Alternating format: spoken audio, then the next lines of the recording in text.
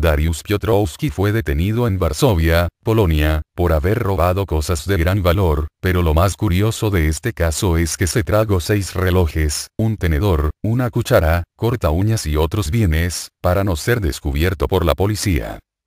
Mientras estaba bajo custodia, Piotrowski se quejó de fuertes dolores de estómago, lo que provocó que los oficiales llamaran un médico de la policía.